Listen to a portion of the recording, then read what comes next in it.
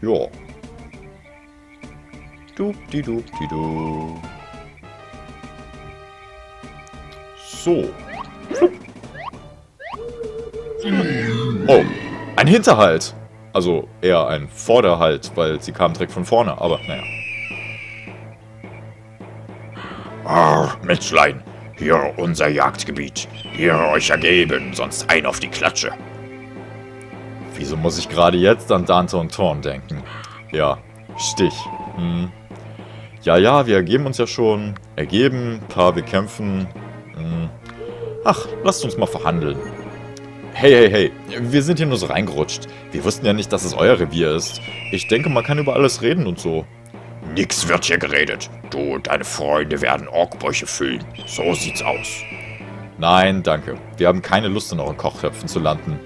Wir möchten euren Boss sprechen. Bringt uns zu eurem Häuptling. Ich gehe mal davon aus, dass er mehr an der Birne hat als ihr. Naja. Mal gucken. Was haben wir denn da? Junges Blut, frisch und saftig. Ja, ja. Die Geschichte kennen wir schon. Aber wir haben keinerlei Interesse an euren Bratenspießen zu landen. So? Warum sollten wir auf dieses Festmahl verzichten? Nun, vielleicht könnten wir euch die Rübe einschlagen. Nein, euch einen Gefallen tun. Wenn ihr uns unbedingt zu Schaschlik verarbeiten wollt, nur zu.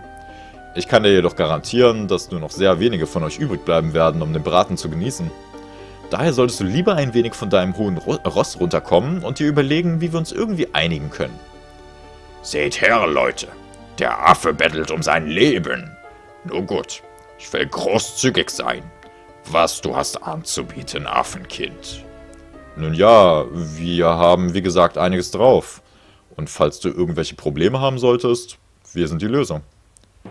Es gibt da tatsächlich ein paar Dinge, die ihr für den mächtigen Stamm der großen Schweinsnasen-Orks könntet erledigen. Gleich ein paar Dinge? Schieß los, Schweinsnase. Wir sind nicht allein hier in dieser Höhle. Böse Nachbarn neben und unter uns. Ihr uns helfen mit bösen Nachbarn. Hm, und was sind das für Nachbarn? Zuerst da sind Schlangenweibchen. In Höhle unter uns wollen immer junge, starke Orks von uns zu machen, neue kleine Schlangen. Hört sich eklig an. Was sollen wir tun? Vor drei Tagen Schaman von Orkenstamm ging runter, um Schlangenweibchen zu sagen, dass so es nix könne, laufe weiter. Schaman nix komme wieder. Die werden ihn wohl alle gemacht haben. Dass ich schon selber wisse, dass du mir nix muss sage. Wir jetzt aber brauche neue Schamanen. Tut mir leid, aber wir sind schon anderweitig beschäftigt. Oh, du aber auch nix kapiere. Du nix werde solle Schaman. Wir nix brauche Äffle als Schaman. Wir brauche Orken-Schaman. Na gut, und wo soll ich den herzaubern? Wir schon selber mache. Aber wir brauchen Schamanestab mit viel Knoche dran und so Sach. Du uns hole Schamanestab. Na gut. Und wo finde ich so ein Ding? Die Treppe runter. Da sind die Schlangefrauen. Die werden es ja wohl noch haben. Sag ihnen, dass Orken den Stab brauchen.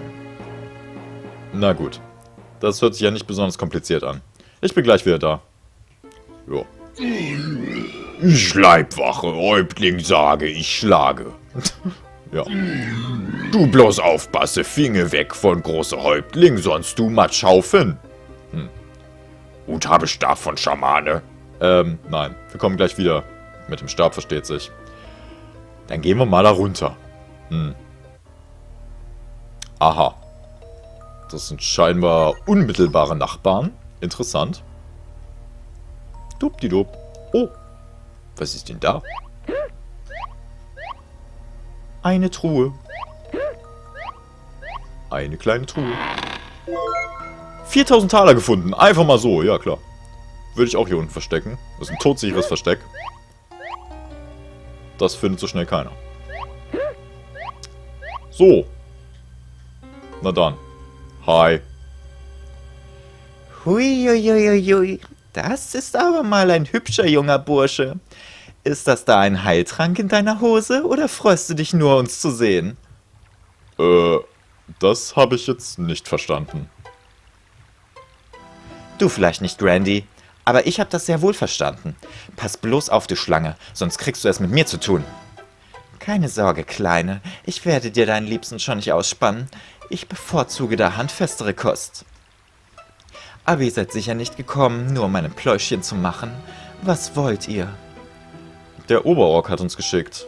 Er geht davon aus, dass ihr so eine Art Schamanenstab habt, den er benötigt. Den hatte dieser Wichtigtour dabei, der uns vorgestern im Schlaf ermorden wollte. War ganz lecker, das Kerlchen. Ein bisschen zäh vielleicht. Ähm, also schön für euch. Also wir wollten eigentlich nur den Stab abholen und dann wieder verschwinden. Na, mein Süßer, so leicht ist das aber nicht. Er will doch nur einen neuen Schamanen heranzüchten, damit dieser versuchen darf, uns zu meucheln. Na gut, ganz wie ihr wollt. Äh, dann eben mit Gewalt. Wie ihr wünscht. Schlangenfrau greift an. Ja, wir hätten uns jetzt also auch... Wir hätten auch zurückgehen und uns mit den Orks anlegen können, aber mein Gott. Verkloppen wir lieber die Schlangenfrauen. Passt schon. Schutz vor Bösen, ich weiß nicht, wie viel die drauf haben. Kugelblitz und Tarius Tanz der Sonne.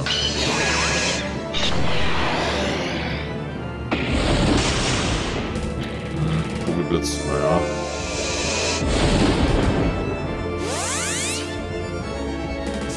Schlangenfrau greift an. Yay, weicht aus, weicht aus. Okay. Vielleicht sind die ja gar nicht so stark. Heilige Melodie? Eine heilige Melodie? Seit wann kann er das denn? Egal. Sternschauer. Flammenschlag. Und Tarius greift mir so an.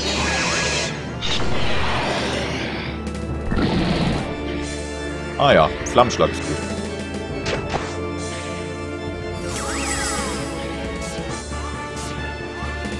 Also irgendwie scheinen die extrem schwach im Angriff zu sein, habe ich so das Gefühl. Anders kann ich mir das nicht erklären, warum ich hier die ganze Zeit ausweiche.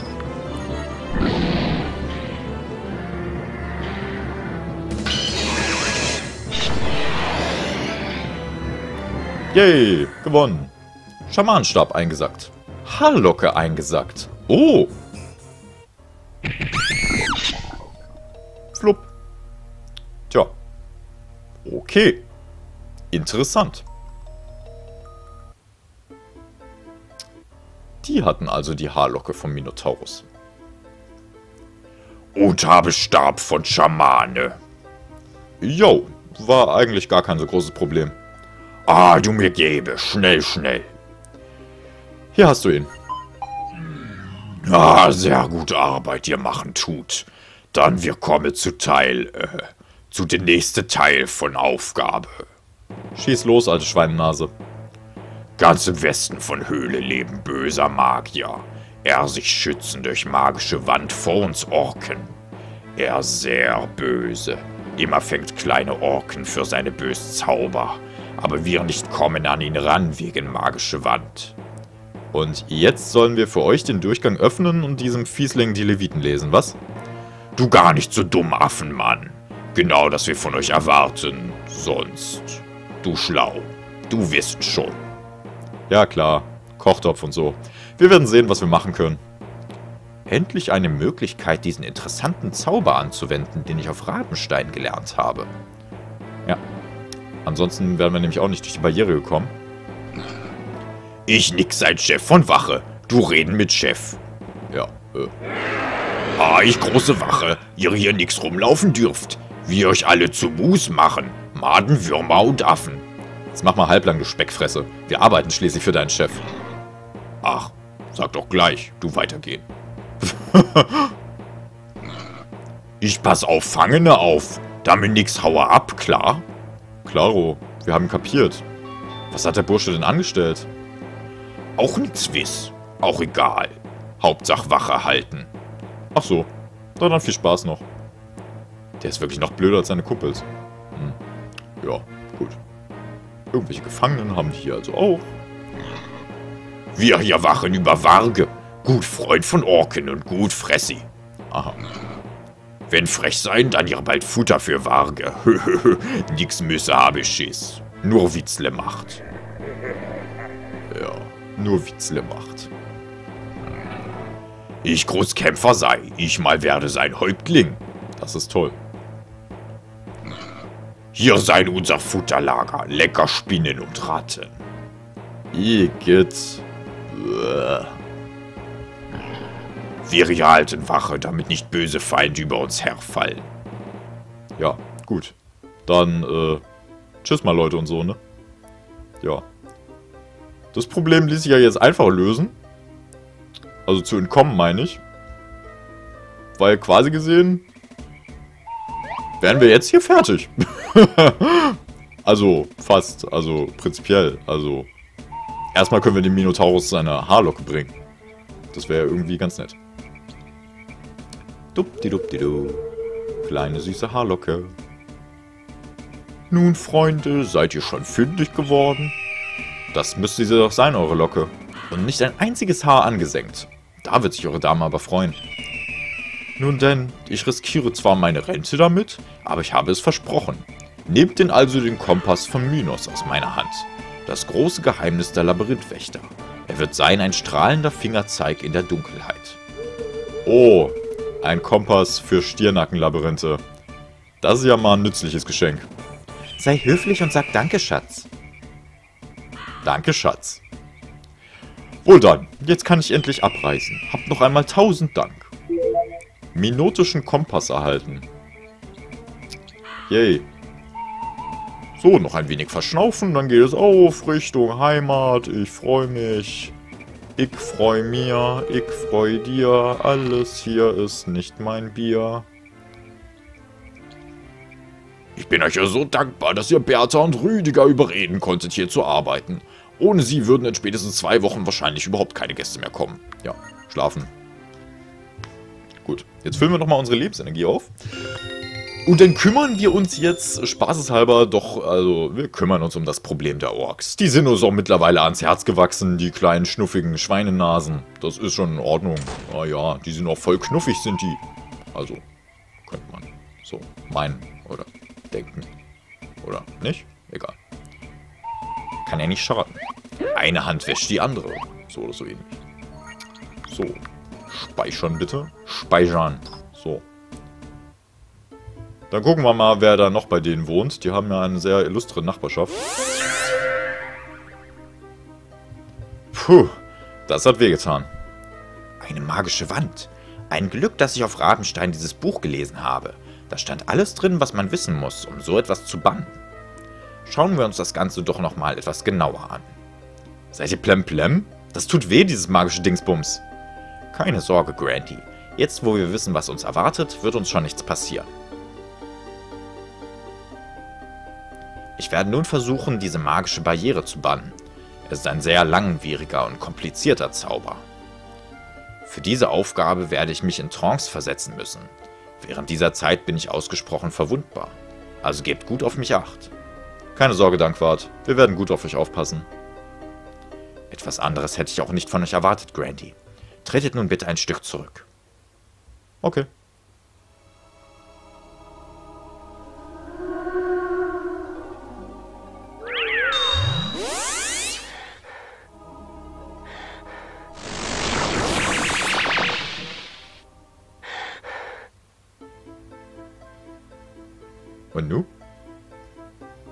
Dankwart, geht es euch gut? Ja, danke, Grandy. Es ist bloß ein äußerst kraftraubender Zauber. Er hat tatsächlich Lebensenergie verloren. Naja, 50 LP. Passt schon. Einmal Genesungszauber, zack, geheilt. So. So. Hä? Ach, wir alle haben 50. Warum haben wir alle 50 LP verloren? Betrug. So, ich fühle mich verarscht. Klopf, klopf. Kann es sein? Wie seid ihr denn hier reingekommen? Durch mächtige Magie. Ihr mögt vielleicht nicht ganz ohne sein, aber eure schlappe Barriere konnte uns nicht aufhalten. Hm, ich muss den Zauber dringend mal überarbeiten. Ich kann es mir nicht leisten, dauernd gestört zu werden. Aber ihr seid wohl kaum hier eingedrungen, mein Schwätzchen zu halten. Was wollt ihr? Wir kommen, um dich zu töten. Wir haben da ein paar Fragen. Äh, uh, wir haben da ein paar Fragen. Fragen? Habe ich nicht eben erwähnt, dass ich keine Zeit habe? Ich habe noch ein paar dringende Experimente durchzuführen. Aber was soll's. Betrachtet es als letzten Wunsch der Delinquenten vor der Hinrichtung. Hinrichtung? Ihr glaubt doch nicht etwa, dass ich euch wieder laufen lasse, nachdem ihr bei mir eingedrungen seid. Außerdem kann ich euch ganz gut für meine Versuche gebrauchen. Also schießt los. Äh, Frage stellen. Wer oder was bist du? Mein Name ist Ritzalan. Zu Lebzeiten war ich ein demütiger Diener des dunklen Gottes, aber in den letzten Jahren habe ich mich eher den Wissenschaften gewidmet. Man muss ja auch sehen, dass man irgendwie weiterkommt, und nur auf Seelenjagd für jemand anderen zu gehen, ist auf Dauer wenig befriedigend. Ähm, wie bist du eigentlich zu deinem wenig vorteilhaften Äußeren gekommen? Keine Beleidigungen bitte, sonst ist die letzte Unterhaltung eures Lebens schneller vorbei, als euch lieb ist. Aber zur Frage, ein kleines Missgeschick beim Ritual zu Ehren des dunklen Gottes. Es ging dabei um eine Seelenwanderung. Hört sich irgendwie bekannt an. Sagen dir etwa die Namen Altur und Lythia etwas? Hui, hui, hui. Langsam fange ich an, ein wenig beeindruckt zu sein. Darf ich fragen, wo ihr dieses Wissen aufgeschnappt habt? Äh, aber gerne doch. Auf Burg Rabenstein haben sie gerade versucht, das gleiche Ritual durchzuführen. Ach so? Das hört sich jetzt aber wirklich interessant an. Darf ich fragen, ob sie Erfolg hatten? Ähm, wir konnten das verhindern. Hervorragend! Das grenzt die Anzahl meiner potenziellen Konkurrenten ein. Äh, ja. Hatten wir jetzt schon gefragt, was machst du hier? Ich forsche. Das sieht man doch, oder? Ja, ja. Ich kenne die nächste Frage. Woran forschst du? Nun, die Antwort weiß ich selbst noch nicht so genau. Nur, dass es etwas Großes wird und dem dunklen Gott nebst seinem Nachkömmling wohlgefällig. Leider verrinnt die Zeit, ohne dass ich mehr produziert hätte als zweiköpfige Kaninchen mit heraushängendem Gedärm und dergleichen. Äh, ja. Wohin führt dieser Durchgang? Och, der, der führt zur Burg des Herzogs. Wie geschaffen für meine Zwecke, müsst ihr wissen. Der Herzog gibt die Tage nämlich ein rauschendes Fest, auf dem ich auch zugegen sein will. Ohne sein Wissen versteht sich. Was planst du? Mein Plan würde eure kleinen Spatzenhörner zum Überkochen bringen, würde ich versuchen, ihn euch zu erklären. Dann nutzt er mir jedoch nichts mehr. Deswegen belasse ich es mal dabei, euch zu sagen, dass es eine Sache zwischen dem dunklen Gott, mir und seinem Sohn ist. In die sich dieser blutsaugende Emporkömmling einzumischen gedenkt, aber nicht mit mir, meine Freunde. Okay, er mag Warnfried also auch nicht. Interessant. Soll es durchaus auch geben, auch unter den Monstern. Aber naja, bringen wir es mal hinter uns.